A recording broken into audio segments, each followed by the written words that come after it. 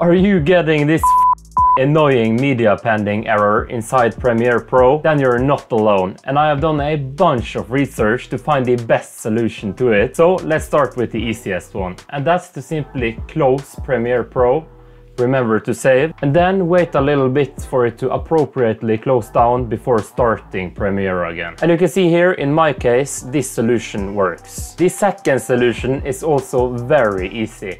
Simply select your clips in the sequence, then right click one of them and click on enable to disable and then once again click on enable and now you should be rid of your media pending error. Or at least many people on the internet have found this method to work. The next solution is to simply do a little bit of adjustments to your clips in the timeline. So maybe trim it a little bit. You can use the razor tool and try to add a cut and much more. Many people have found this to solve the media pending error as well. The third solution is to delete your media cache files. So to do this, close down your project if you have it open then click on edit and go to preferences and to media cache. And from here you want to click on the delete button and then click on delete all media cache files and click on OK and Premiere Pro will automatically shut down. If that didn't work, it may be your sequence that is corrupt and a great way to fix this is to simply copy all the clips to a new one.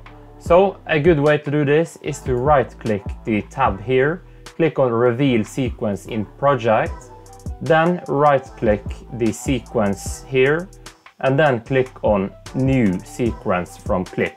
Doing this you will get all the correct project settings. Now go ahead and delete this clip and go to the old sequence, select all the clips in the sequence, right click it, go to copy, then open your new sequence and now you want to press Ctrl and V or on a Mac you press Command and V to paste. You may have to readjust the audio levels in the new sequence. If you're still experiencing the error, you can check out this article here where I've written about some other solutions to try as well.